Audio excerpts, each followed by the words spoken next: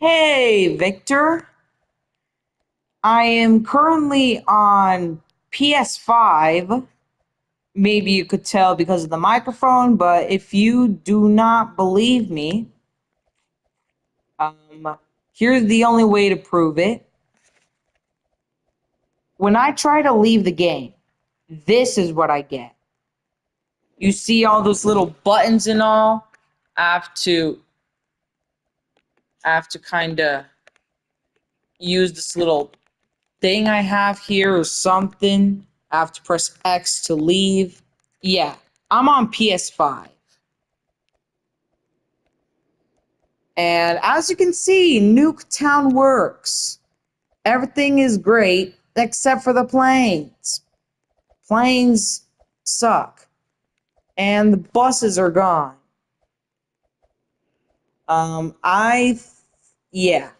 And I was literally about to say that Greek Xenia is at the verge of being permanently deleted, or I'm going to stop doing updates on it because all the updates I do, like specifically NPCs and cars, are just disappearing for absolutely no reason.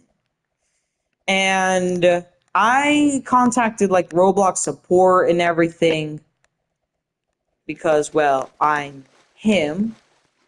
I always want to solve issues. Greek Xenia is my baby. This isn't mobile Greek Xenia. It's the Greek Xenia.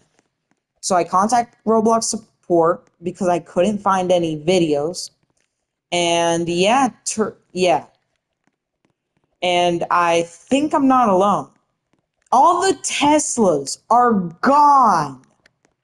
The school buses are gone.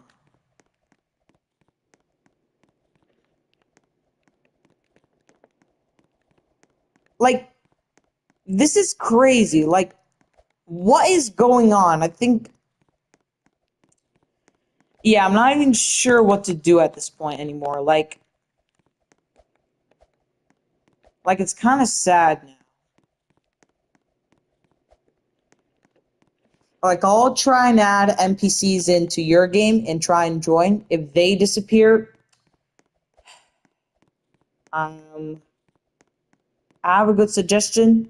I think we should stop making games for now. So, yeah. And also, if you still do not believe me, look.